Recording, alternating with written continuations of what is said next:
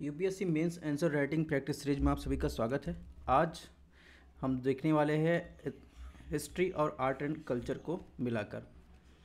ठीक है, इसके पहले हमने दो दिन में जो है जोग्राफ़ी और इन्वायरमेंट इकोलॉजी के करंट बेस्ड क्वेश्चन देख लिए हैं। दोबारा हम उस पर आएँगे जोग्राफ़ी और इन्वायरमेंट पर। अभी हम कुछ क्वेश्चन हिस्ट्री और कल्चर के देख लेते हैं। पहली क्लास में, दूसरी क्लास में हमने ये इन्फॉर्मेशन दे दी, कितने क्वेश्चन आते हैं। ठीक है आपको क्या क्या ध्यान रखने की ज़रूरत है? जैसे आपको टाइम मैनेजमेंट हुआ, ठीक है, और प्रैक्टिस जारी रखनी है, ठीक है, और बेसिक जो ट्रेडिशनल बुक्स है, उसके अलावा भी न्यूज़पेपर वगैरह से भी आपको जानकारी आपको लेती रहनी, ठीक है तो ये सब चीज़ें आपको ध्यान रखनी है। चलिए आज के पहले क्वेश्चन की शुरुआत करें तो इसमें हिस्ट्री का, इसमें पूछा है, औद्योगिक क्रांति ने यूरोप और उत्तरी अमेरिका में समाज और अर्थव्यवस्था को किस प्रकार प्रभावित किया है? इस पर जो है 150 शब्दों में इसको आंसर लिखना है। अब इसको हल करने का दृष्टिकोण क्या हो सकता है? तो सबसे पहले आपको इसमें संक्षिप्त रूप में इंडस्ट्रियल रिवोल्यूशन या फिर औद्योगिक क्रांति के बारे में इंट्रोडक्शन दे देना है। दूसरे पैराग्राफ में आपको लिखना है, इसका जो प्रभाव है, समाज और अर्थव्यवस्था पर किस प्रकार पड़ा है, इसकी चर्चा कर लेनी है। इसके बाद इसमें निष्कर्ष लिखना है। ठीक है?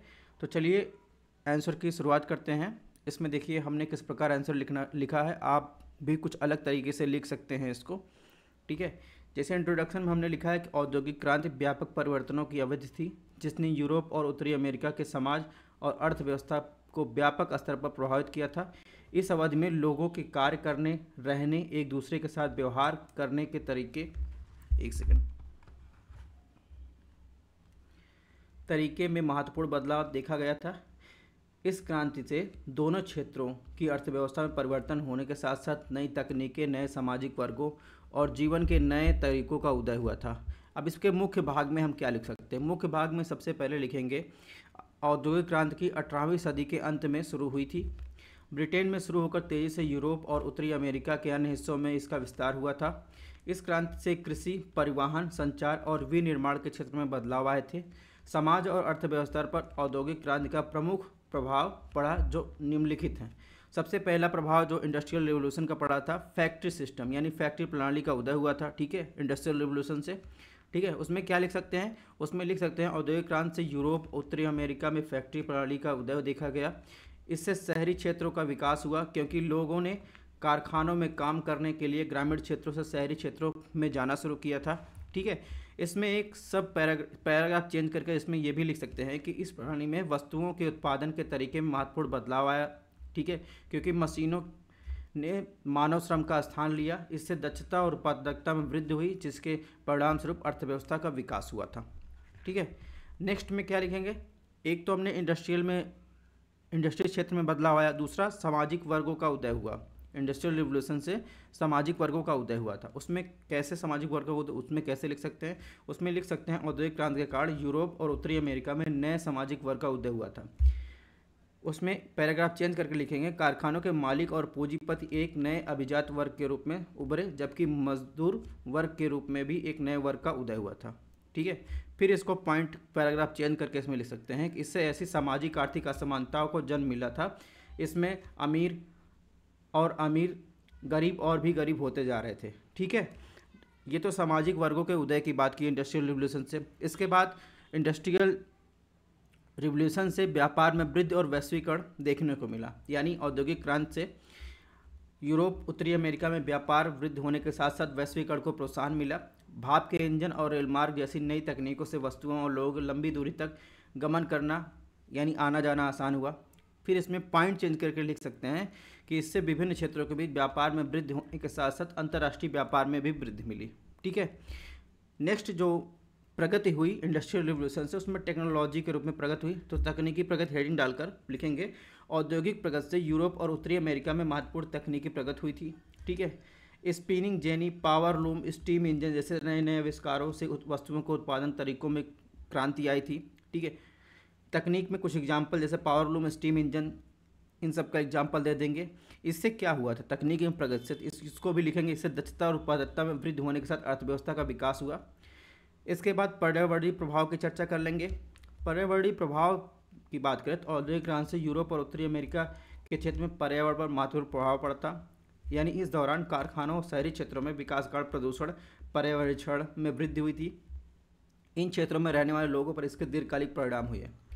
इसके अलावा औद्योगिक क्रांति से जो है संपत्ति में वृद्धि हुई थी, ठीक है? इसको भी एक हेडिंग बनाकर लिख सकते हैं कि औद्योगिक क्रांति से संपत्ति की मात्रा में वृद्धि होने से मध्यम वर्ग का उदय हुआ था। फिर शहरीकरण में बदलाव हुआ था। उद्योगों का विकास होने के साथ अधिक श्रम की आवश्यकता हुई, जिसके कारण लोग ग्रामीण क्षेत्र से शहरी क्षेत्र को प्रवासित हुए। इस क्रम में शहरीकरण में महत्वपूर्ण बदलाव आया। इस प्रवसन के कारण शहरों में भीड़ भाड़ रहने और दैनिक स्थिति उत्पन्न होने के साथ स्वास्थ्य संबंधी मानकों में गिरावट आई, ठीक है? तो इस प्रकार हम इसका आंसर लिख सकते हैं। ठीक है, औद्योगिक रिवोल्यूशन से जो भी प्रभाव पड़ा, जो आप ऑब्ज़र्व कर रहे हैं अपने आसपास, वही चीज़ें इसमें लिख देनी है। अब ये लाइन टू लाइन अपने ट्रेडिशनल बुक में मिलेगी नहीं। इसमें बहुत सारी बुक को जो है कंबाइन करके आप, या फिर न्यूज़ को देखकर आप लिख सकते हैं। निष्कर्ष में बात करें, निष्कर्ष के क्या लिख सकते निष्कर्ष में लिख सकते हैं, औद्योगिक क्रांति व्यापक परिवर्तनों की अवधि थी, जिसका यूरोप, उत्तरी अमेरिका के समाज, अर्थव्यवस्था पर काफ़ी प्रभाव पड़ा। ठीक है वस्तुओं के उत्पादन,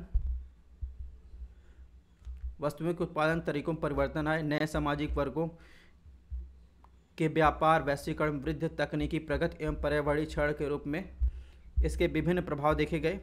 इसके अलावा लिख सकते हैं, अर्थव्यवस्था पर कई सकारात्मक प्रभाव होने के साथ साथ औद्योगिक क्रांति में सामाजिक पर्यावरणीय प्रभाव पर नकारात्मक प्रभाव पड़े।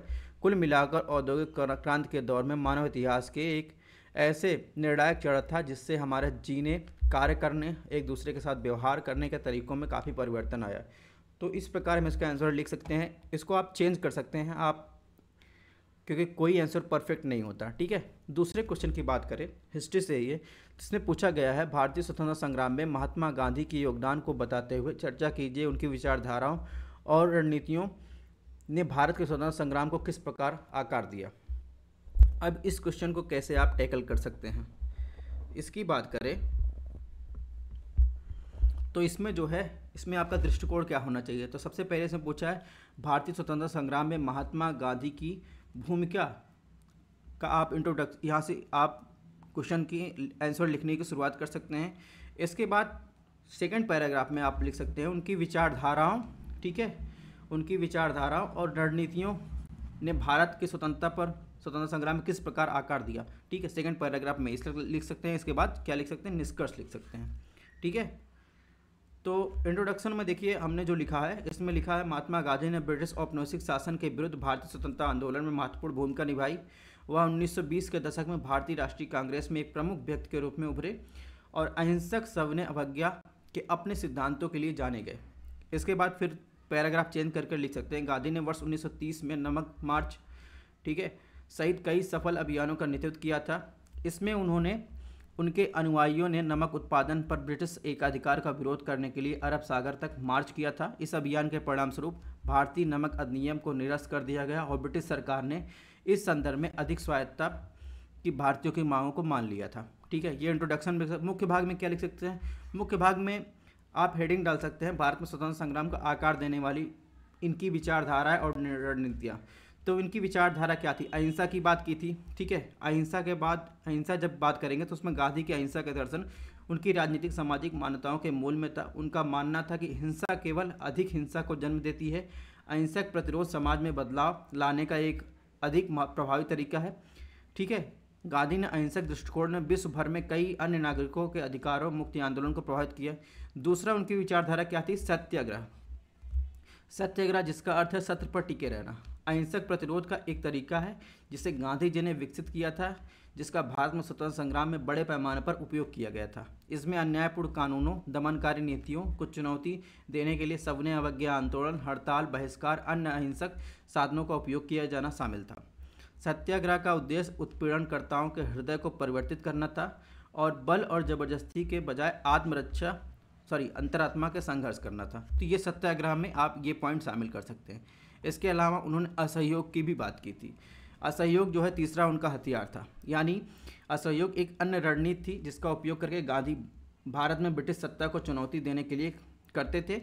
उन्होंने भारतीयों को ब्रिटिश वस्तुओं, संस्थाओं, कानूनों का बहिष्कार करने और करों का भुगतान न करने, ब्रिटिश द्वारा संचालित चुनावों में भाग न लेने का आह्वान किया था। असहयोग आंदोलन का उद्देश्य भारतीय स्वतंत्रता हेतु ब्रिटिशों पर दबाव बनाना था। ठीक है? इसके अलावा जो है उन्होंने सवने अवज्ञा को अपने रणनीति अपनाई थी।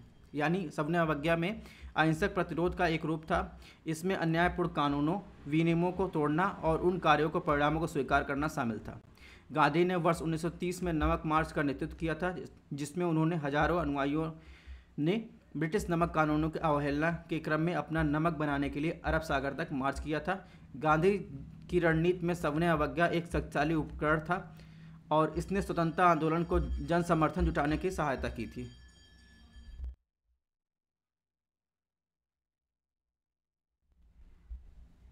इसके अलावा इसमें निष्कर्ष की बात करें तो निष्कर्ष में लिख सकते हैं, भारतीय स्वतंत्रता संग्राम में महात्मा गांधी का योगदान अतुलनीय था। अहिंसा सवने अवज्ञा के उनके दर्शन, असहयोग सवने अवज्ञा की उनकी रणनीति, उनके नेतृत्व ने भारतीय जनता को एकजुट करने तथा ब्रिटिशों को भारतीय भारतीयों की मांगों को मानने के लिए मजबूर किया। गांधी जी की विरासत आज भी विश्व भर में अन्य लोगों को न्याय, स्वतंत्रता के लड़ने के लिए प्रेरित करती है। तो इस प्रकार इसका आंसर लिख सकते हैं। आप, अगर आपको और कोई तरीका मालूम है तो आप अलग तरीके से भी इसको लिख सकते हैं। तीसरे क्वेश्चन की बात करें तो ये आर्ट एंड कल्चर से इसमें पूछा है, द्रविड़ मंदिर वास्तुकला के विशिष्ट विशेषताओं पर प्रकाश डालिए। इस स्थापत शैली को आकार देने में चोल राजवंश द्वारा निभाई गई महत्वपूर्ण भूमिका का विश्लेषण कीजिए। अब इस प्रश्न को अगर हम तोड़े, इसमें क्या क्या आप कौन कौन से पैराग्राफ में क्या क्या लिख सकते हैं? तो इंट्रोडक्शन कहाँ से चालू करें? इंट्रोडक्शन में आप लिखेंगे, द्रविड़ वास्तुकला शैली के बारे में आप बताते हुए यहाँ से इंट्रोडक्शन की, यानी क्वेश्चन आंसर की शुरुआत कर सकते हैं। मुख्य भाग में आप लिखेंगे, द्रविड़ वास्तुकला शैली की विशेषताओं को बताते हुए इसमें चोल राजवंश के योगदान का उल्लेख कर सकते हैं, ठीक है? इसके बाद निष्कर्ष लिख सकते हैं, ठीक है? तो इसमें इंट्रोडक्शन में हमने लिखा है, द्रविड़ मंदिर वास्तुकला शैली का विकास भारत के दक्षिण क्षेत्रों, मुख्य रूप से तमिलनाडु, कर्नाटक, केरल, आंध्र प्रदेश राज्यों में हुआ।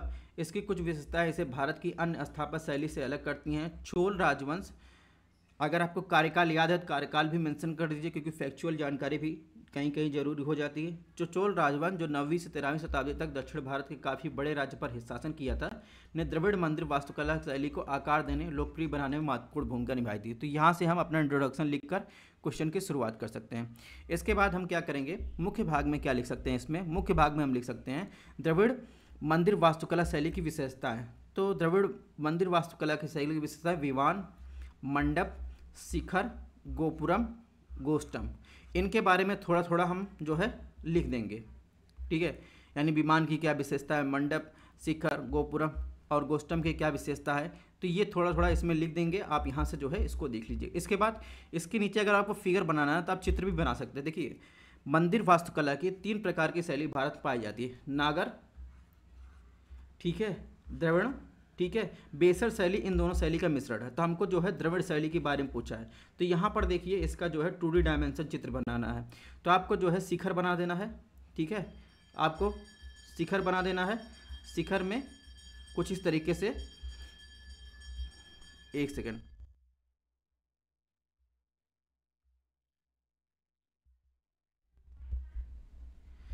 तो आपको शिखर बना देना, शिखर में देखिए इस तरह बना देना है।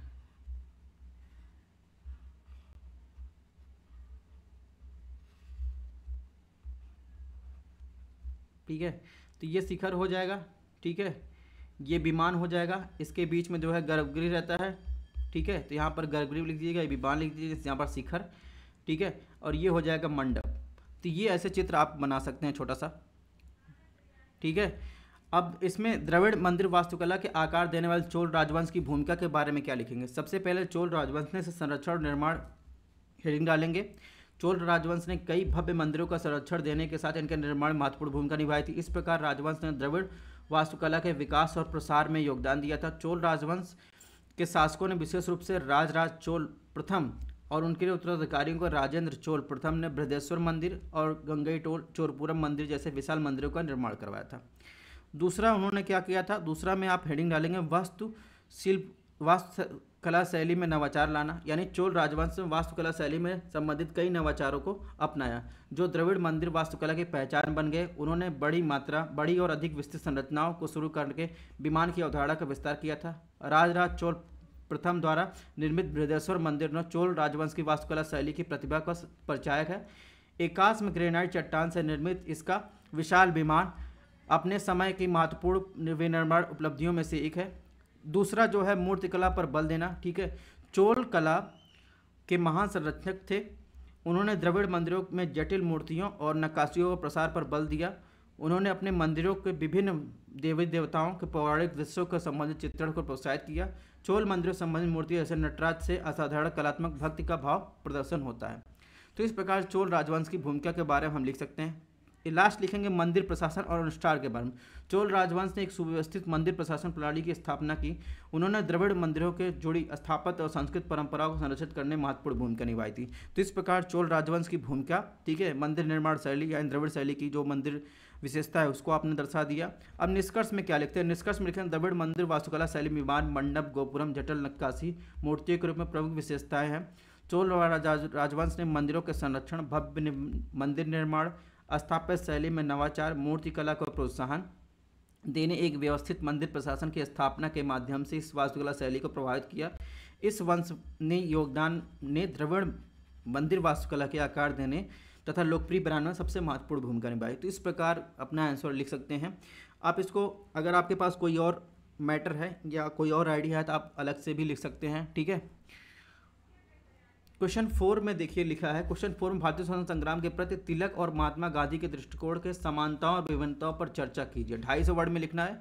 सबसे पहले इसमें देखेंगे, तिलक और गांधी के दृष्टिकोण को संक्षेप में समझाएँगे, फिर दोनों नेताओं के दृष्टिकोण में समानता, विभिन्नताओं पर प्रकाश डालेंगे। ठीक है, उसके बाद निष्कर्ष लिखेंगे। अब इसको हमने कैसे लिखा? इसमें देखिए इंट्रोडक्शन लिखा है, तिलक और गांधी भारतीय स्वतंत्रता संग्राम के दो महत्वपूर्ण नेता थे। जिन्होंने ब्रिटिश औपनिवेशिक शासन से भारत के स्वतंत्रता दिलाने महत्वपूर्ण योगदान दिए इनके दृष्टिकोण में समानता होने के साथ इन तरीकों की मुख्य विचारधाराओं में भी भिन्नताएँ थी। मुख्य भाग में देखेंगे तो समानताएँ। समानताएँ क्या थी? ठीक है, समानताओं में आपको तिलक और तिलक और गांधी के जो समानताएँ स्वशासन को, महत्व को समझने के, ब्रिटिश औपनिवेशिकवाद मुक्त कराने तो ठीक है, ऐसे पॉइंटों को आपको इसमें लिख देना है। ठीक है, विभिन्नताओं में एक विभिन्नता आप हेडिंग डालेंगे। ठीक है दोनों के विचारधारा में जो विभिन्नता थी, उनको आपको लिख देना है, ठीक है? इसके बाद निष्कर्ष में लिखेंगे फिर बाल गंगाधर तिलक और महात्मा गांधी का ब्रिटिश शासन भारत को स्वतंत्रता दिलाने को साझा लक्ष्य था, लेकिन इनके दृष्टिकोण अलग थे। तिलक उग्रवादी राष्ट्रवाद के पक्षधर थे, लेकिन गांधी अहिंसक प्रतिरोध को प्राथमिकता देते हुए स्वतंत्रता के अधिक व्यापक धारणा पर बल दिया था। दोनों ही नेताओं ने भारतीय लोगों को संगठित करने में महत्वपूर्ण भूमिका निभाने के साथ अंतर भारत को आज़ादी दिलाने में काफ़ी योगदान दिया था। तो इस प्रकार जो है, आप लिख सकते हैं। इसमें विभिन्नताएँ हमने पॉइंट वाइज लिख दिया है। आप यहाँ से देख सकते हैं, ठीक है? तो इस प्रकार आज का जो चार क्वेश्चन का टारगेट था, वो पूरा हुआ। इसके अलावा हमारी एन की क्लासेस चल रही हैं, ठीक है? यहाँ ये हमारा टेलीग्राम चैनल है, आप इसको स्कैन कर सकते हैं या फिर स्टडी एन आई नाम से सर्च कर सकते हैं, वहाँ पर इसकी पीडीएफ आपको मिल जाएगी। मिलते हैं नेक्स्ट क्लास में, ठीक है? और इस बार नेक्स्ट क्लास में हम पॉलिटी का कुछ क्वेश्चन सॉल्व करेंगे।